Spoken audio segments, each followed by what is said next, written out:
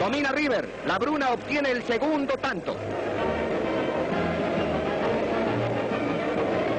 El partido ya está definido.